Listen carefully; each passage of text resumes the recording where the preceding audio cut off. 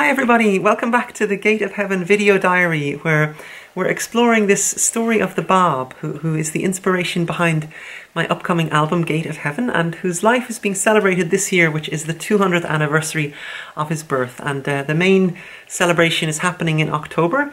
And uh, so I hope that these videos are, are, are, um, are helping, helping to prepare the way for that celebration.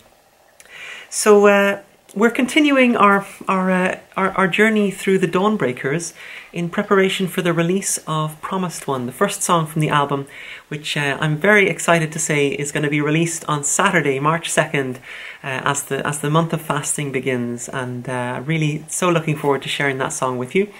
And uh, in in the last video, we had we had uh, we had reached a point in the story of of the Dawnbreakers where where Mullah Hussein, the young student of, of, of the Shaykhi school, the, the school of the promised one, had uh, had gone on, this on this mission to to Iran to win the support of a, of a famous dignitary in Iran, in order to gain some protection for the for Sayyid Kazem and and the school.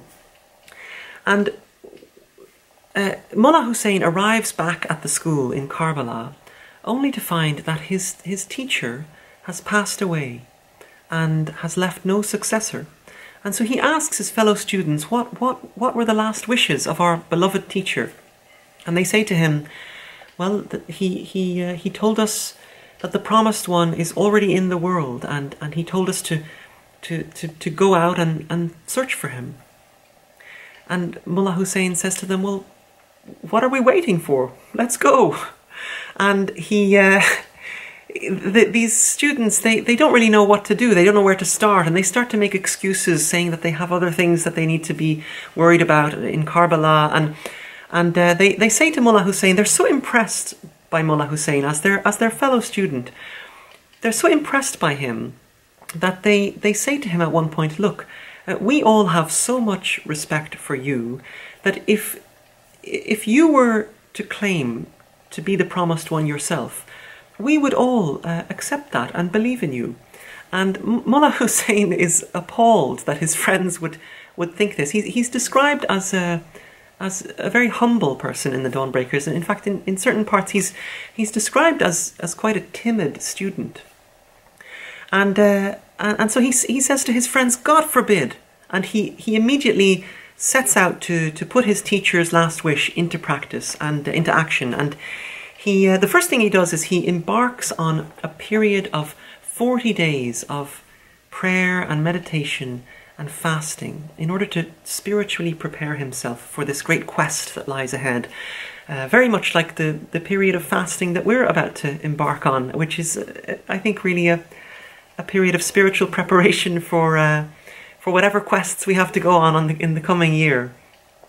And so Mullah Hussein wraps himself in prayer and meditation, and he starts to go over in his mind uh, everything that, that he has learned from, from his teacher. He starts to rehearse all of the signs the, that, uh, that, that Sayyid Kazem had, had told him would be manifest in the Promised One.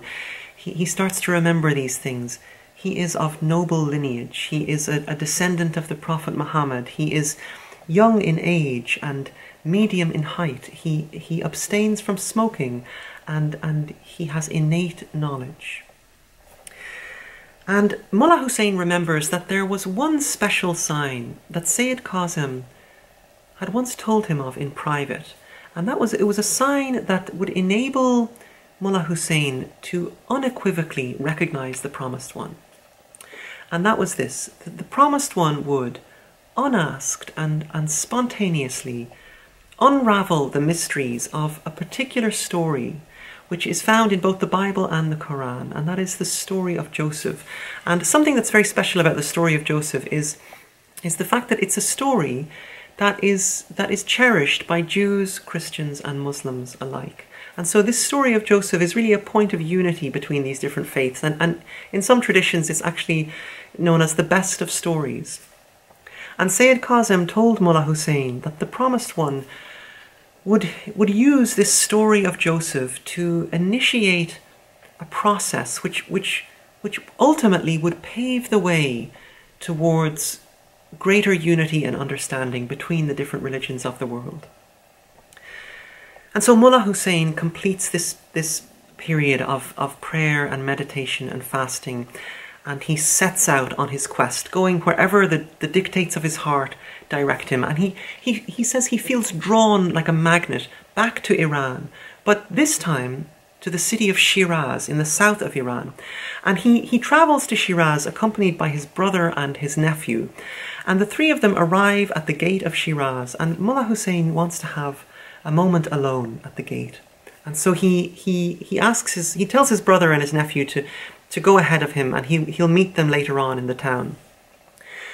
And while Mullah Hussein is, is uh, standing alone at the gate of Shiraz, he sees this young man appear and, and walk towards him, smiling at him. And this young man walks over to him and embraces him uh, as if he were a, a, a, an old friend who, who was expecting his arrival. And he welcomes him to Shiraz and he in, invites Mullah Hussein to come to his home and have some tea and get some rest after his long journey. And Mullah Hussein, he, at first he tells him that he has to that his brother and nephew are waiting for, for him and he has to meet them in the town. But the young man, he simply says to him, Commit them to the care of God, they'll be fine. And he insists that Mullah Hussein uh, comes to his home. And Mullah Hussein is so uh, charmed by the manner of this young man that he goes with him and they go to his home and the young man serves him tea and starts to ask him about his journey. And Mullah Hussein says that he's, he is a student of the great scholar Sayyid Kazim, and he is out searching for the promised one. And the young man says to him, Well, how, how will you know when you've found him? And so Mullah Hussein starts to describe all these signs and qualities that his teacher had, had told him would be manifest in the promised one. And the young man considers each of these, these descriptions and uh, to the great surprise of Mullah Hussein, he says to him, Behold, all these signs are manifest in me. And Mullah Hussein is shocked that this that this young man who is barely 25 years old and has no religious authority, has no qualification, would dare to, to make such a, a bold, presumptuous uh, suggestion. And Mullah Hussein starts to get very uptight, and he, while, while trying to remain polite to his host, he starts to challenge him. And what happens next leaves Mullah Hussein all but paralyzed in his seat. The young man stands up and picks up his pen and begins to write rapidly and speaking as he's writing. And what is the story? The subject, the story of Joseph. And this young man of just 25 years of age begins before the, the dazzled eyes of, of Mullah Hussein, he begins to unravel the mysteries of the story of Joseph, the, the metaphors, the symbols, the hidden meanings, mysteries that have just baffled the greatest scholars for centuries. This young man unravels them with, with a, a, a this, this poetic eloquence and a, a, mastery of language that, that, that just leaves Mullah Hussein completely stunned. And when he finishes writing, he turns to Mullah Hussein and he says to him, I am the Bab, the gate of God, the promised one. And Mullah Hussein has actually left uh, an account in his own words of the uh, overwhelming emotional experience of of witnessing this this uh, world changing declaration and I'd love to just share with you Mullah Hussein's words, which are recorded in the Dawnbreakers. He says, This revelation, so suddenly and impetuously thrust upon me, came as a thunderbolt, which for a time seemed to have benumbed my faculties. I was blinded by its dazzling splendour and overwhelmed by its crushing force Excitement, joy, awe, and wonder stirred the depths of my soul. Predominant among these emotions was a sense of gladness and strength which seemed to have transfigured me. How feeble and impotent, how dejected and timid I had felt previously. Then I could neither write nor walk, so tremulous were my hands and feet.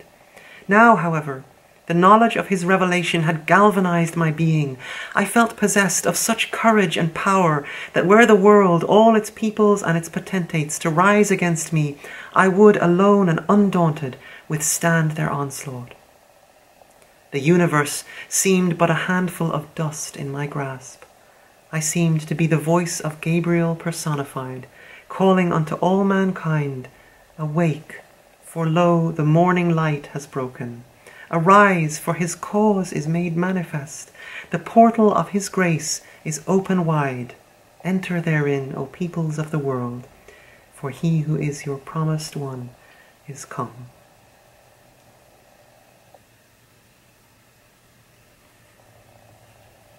And so Mullah Hussein's discovery of the Bab uh, really opens up a, a new chapter in the, the spiritual history of the world on the night of May 23rd, 1844, in Shiraz, Iran.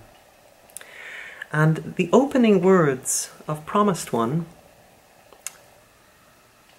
actually come from that very book that the Bab spontaneously revealed for Mullah Hussein on that very night, the commentary on the Surah of Joseph.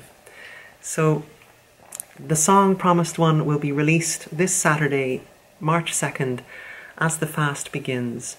And uh, I, I, really hope that whoever is fasting, I hope that uh, that this this period will be uh, a, period of spiritual preparation, uh, just as Mullah Hussein prepared himself for for his quest. I hope that uh, this this month of loftiness will prepare us all for whatever quests we have ahead in the coming year.